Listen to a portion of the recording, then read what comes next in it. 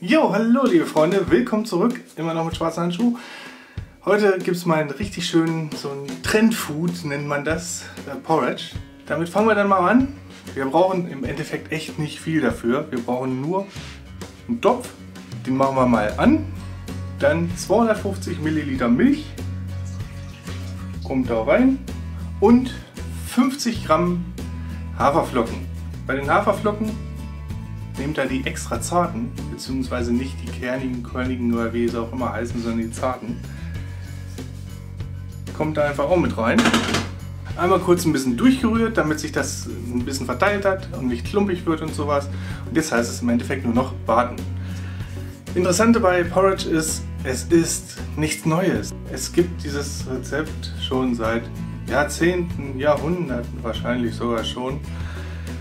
Nicht nur in, ähm, in Schottland, wo dieser Name Porridge herkommt, sondern auch in Deutschland.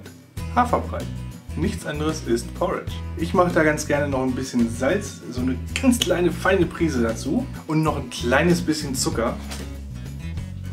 Aber halt von beiden nicht wirklich viel. Mehr ist das im Endeffekt nicht. Jetzt müsst ihr nur noch warten, bis das schön dick wird und so ein schöner Brei ist. Und dann habt ihr schon fertig. Ihr könnt da theoretisch, wenn ihr wollt, jetzt noch weiße Schokolade reinmachen. Schmeckt super.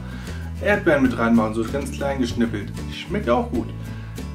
Wenn ihr natürlich mehr als dieses bisschen hier wollt, dann nehmt ihr nicht 250 Milliliter, sondern 500 Milliliter Milch und halt dementsprechend auch mehr Haferflocken. Also ihr seht selbst dieses Trendfood, was ja so immer hochgehypt wird, ist ganz einfach zu machen. Wenn das gleich ein bisschen dickflüssiger ist, sind wir fertig. Und das war's dann auch schon. Unten seht ihr dann nochmal ein Bildchen. Wie immer nur das reine Grundrezept, ohne irgendwelche Verschönerungen. Ich hoffe, es hat euch einigermaßen gefallen. Ihr hattet ein bisschen Spaß. Macht das mal nach.